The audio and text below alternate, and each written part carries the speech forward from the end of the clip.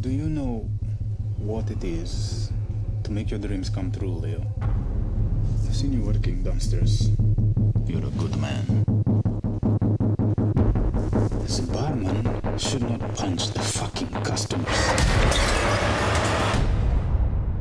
I don't deserve you, Leo. I love you so much, but you don't know me.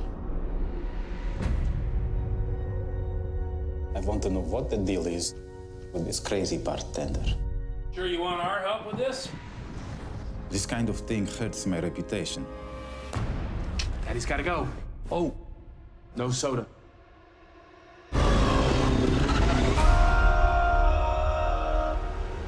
Your girlfriend has secrets.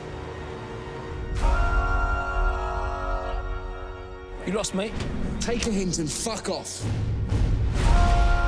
Not very talkative. Something's going on. You need to maintain a sense of humor, babe.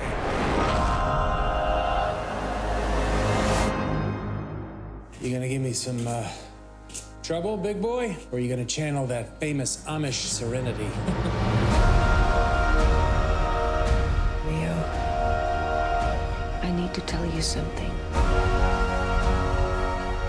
this is gonna stop right now. It ain't a secret anymore.